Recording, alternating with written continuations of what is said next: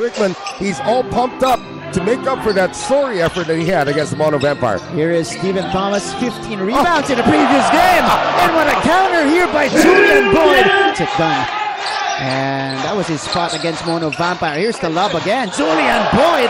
That was Julian Boyd. That was a very speedy move, especially against Jeremiah Gray. Nick King getting denied by Boyd. He saves it to Thomas.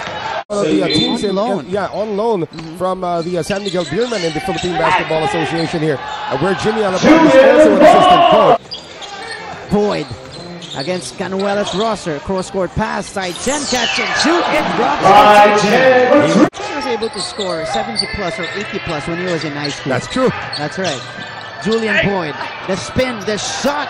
It Julian, Julian Boyd. Exchange of baskets here both. Then heading, firing right away, missing the mark there. He has he has 14 points, yeah. eclipsing his point. Julian, Julian Boyd getting up up high for that jam. No get on the hook, and that's a shot they're going to give him. Herring breaking down the play. And tracking the ball down for the steal. Shentu. Oh, two Doug. They send it out to Chris Shentu, lobbing it up to Doug Herring.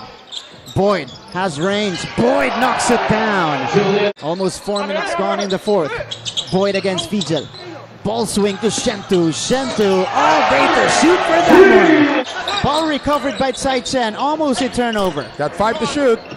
Boyd, floater, it's good! Boyd 8 to 79 in favor of the Macau Black Bears over Hong Kong Eastern. So that's the other game that's going on. Oh!